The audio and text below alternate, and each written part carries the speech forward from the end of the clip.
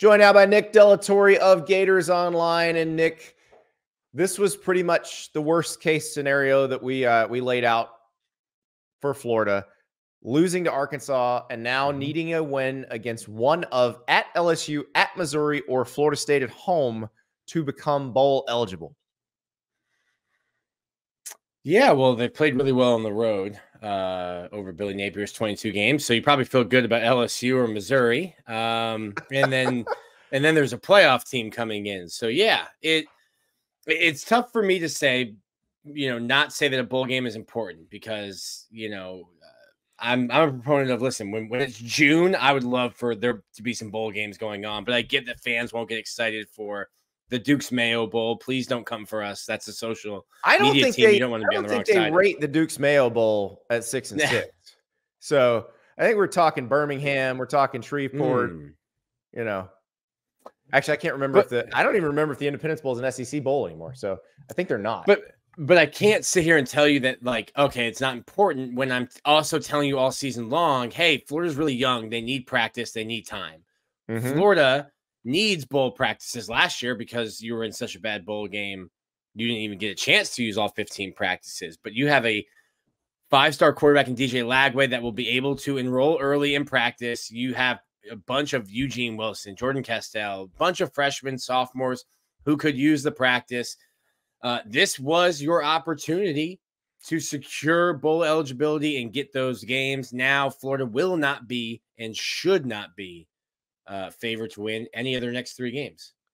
So you had an interesting question to Billy Napier yesterday because special teams obviously a huge part of the loss to Arkansas. Uh, multiple times, ten guys lining up on on field goal block again.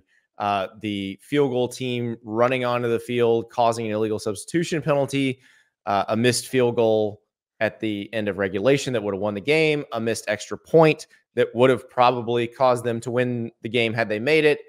And here's what you asked Billy Napier about special teams and his answer. Uh, Billy, the special teams unit has pretty much consistently had issues, whether it's been procedural or otherwise. What can you do this late in the season to help them or fix that? And at the end of the season, do you have to look at changing the operation completely there? Well, um, specifically, what are you talking about? Today there was uh, 10 guys for a field goal block. Uh, the uh, bad snap and then the procedural penalty uh, running the guys on. Then they've had issues pretty much. Yeah, I mean, I, I think that, um, you know, we had a few young people today that had opportunities. That's what I would say, you know. Um, we also had some great punt returns today. We had some great kickoff returns today. Uh, we covered kicks and punts well today. Um, you know, I think it's important here, and one of the things that I respect about our team, um, there's a lot of blame to be spread out. You know, and in this game in particular, I think we're going to look back at all parts of our team.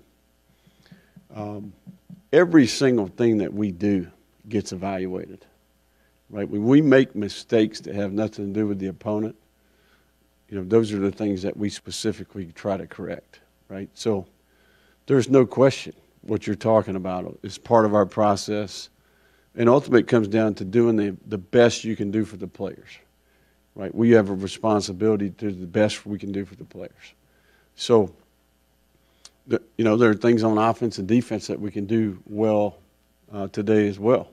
You know, so, it's all under evaluation. Um, and I think, in particular, for me, things that have nothing to do with the opponent those are the things that you need to get fixed. If this were an episode of Seinfeld, that would be the big word salad, Nick. Because he keeps talking about stuff that has nothing to do with the opponent, and that's what you need to fix. That's what you were asking. You were asking, why haven't you fixed this yet? And they haven't. Yeah. Yeah, he caught me off guard uh, with you know what specifically, and I was like, today or the entire season? Well, How uh, the, much time the, the do list, we have? Yeah, the list you gave was pretty pretty thorough. And then you're like, well, would you like me to go back through the other games? Yeah, I was just like, I can come, I can come better prepared on Monday. Um, you know, eh, eh, you have to help the players. Is hiring an on-field coach helping the players? When you're saying and I don't think this was Billy Napier's intention, but when you're saying we had a player think he heard a word and that signaled him to run on the field and they ran on the field. Well, then my question, follow up to that would be the play before you had a timeout and then you ran. So who's your coach for special teams to be in the offensive huddle to say, hey, if we get a first down, the clock mm-hmm. stops, and then this is what, our, what we're going to do. You don't have a coach. You have a graduate assistant and an analyst who can't, by the letter of the law, coach on the yeah. Field. I was gonna say, can I can I add, can I make a cynical point here?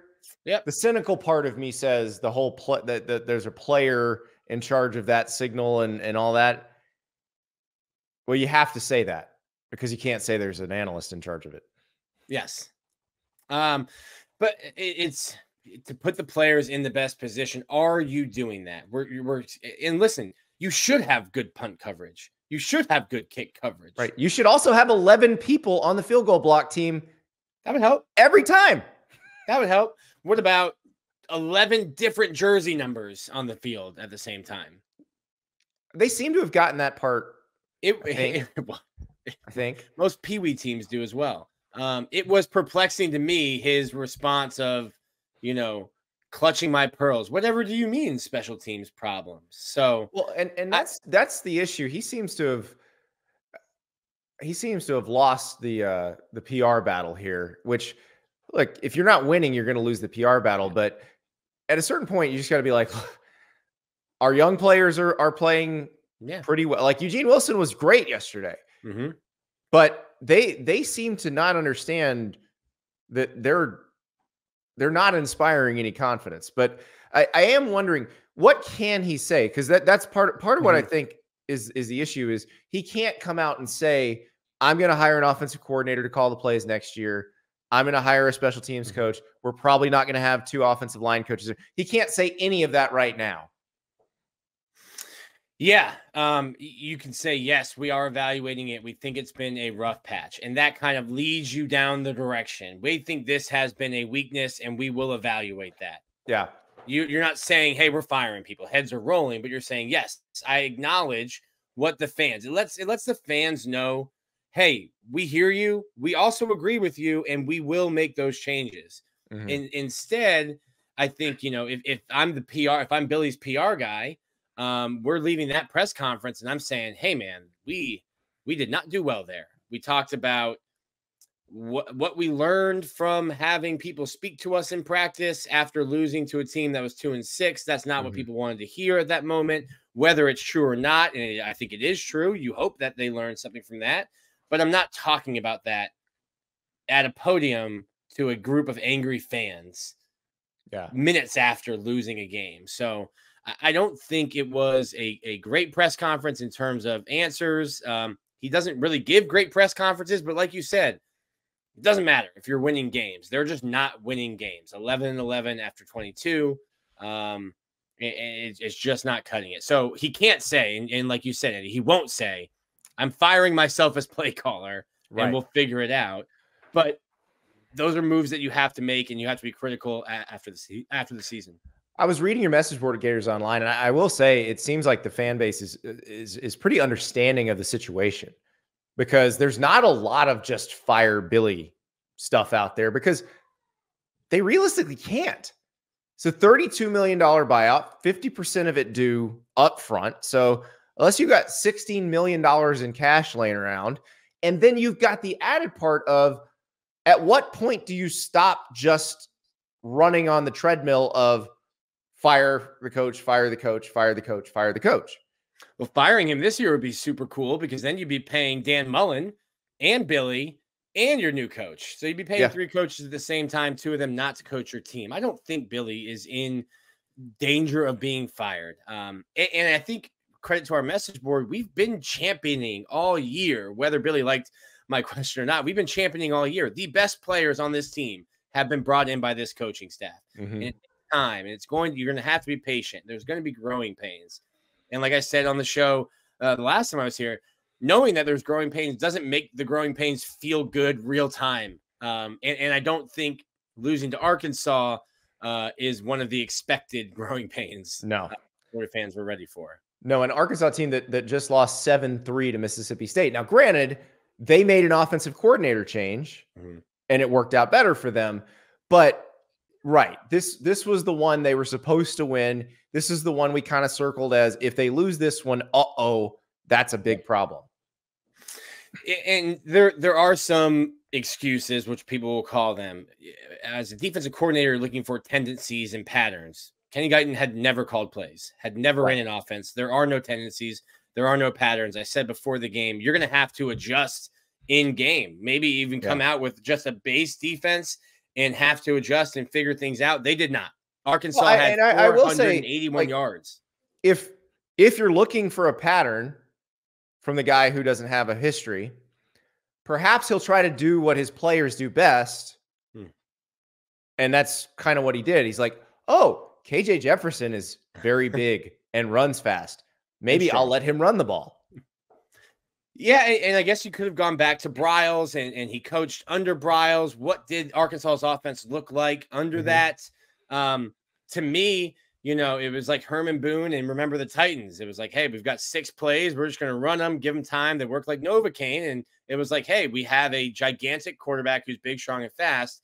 Let's run him. Oh, and by the way, we get an all American level running back. Yes, that that, uh, that Rocket Sanders return was was the other thing, and then Florida had injuries on the D line. Like mm-hmm. the, the perfect storm was was yeah. brewing. You could feel it, and but it, it, it doesn't make it any less frustrating. But I, I just wonder, you know, what what can Florida do? What can Billy Napier and company do these next few weeks? Because they're going to LSU now. They might mm-hmm. not they might not see Jayden Daniels. We we don't if, know about that. Doug if Doug Nussmeier's son oh beats the Florida Gators. Oh boy! If Doug Nussmeier's son beats the Florida Gators, it might break the fan base. You oh, might you yeah. might actually hope for Jayden Daniels to play. Hadn't thought about that. Garrett Nussmeier, son of former offensive coordinator at Florida, Doug Nussmeier under Jim McElwain. Wow. Boy, the the psychic hits just keep coming. There's never never a dull moment covering the Florida Gators, Andy. Nick, we'll talk again soon. Thank you so much for watching. Just a reminder subscribe to this channel right here so you never miss an episode of Andy Staples on 3. And oh, by the way, watch all the other great videos on the On 3 Sports YouTube channel.